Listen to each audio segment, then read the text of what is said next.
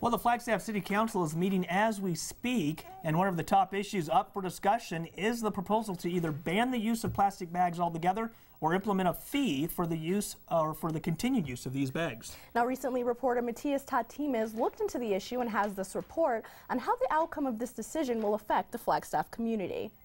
Flagstaff City Council is open to considering a ban on plastic bags, and while there are no clear details yet on what this might include, there are plenty of opinions on what the ban could mean for Flagstaff.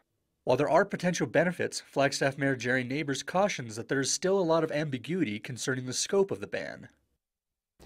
I think there are a lot of questions about this, and we need uh, information from uh, various sources.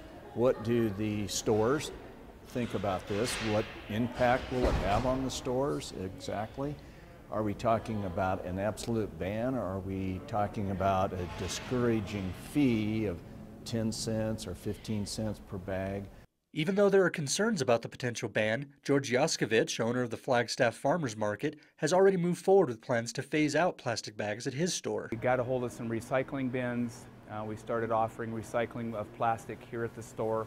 We went out of our regular bags into a recycled heavier duty plastic bag and then when those were gone we had paper bags. We're utilizing a lot of our smaller cardboard boxes for larger orders. Regardless of the details of the ban, Councilmember Eva Putzova warns that the heavy use of plastic bags does come with a price. Uh, a lot of people think of uh, plastic bags as something that we get uh, in a grocery store for free, but there's cost associated with uh, plastic bags. Um, Flagstaff Sustainability Commission um, the cost to the community at $150,000 annually. A lot of communities, uh, entire states have done that.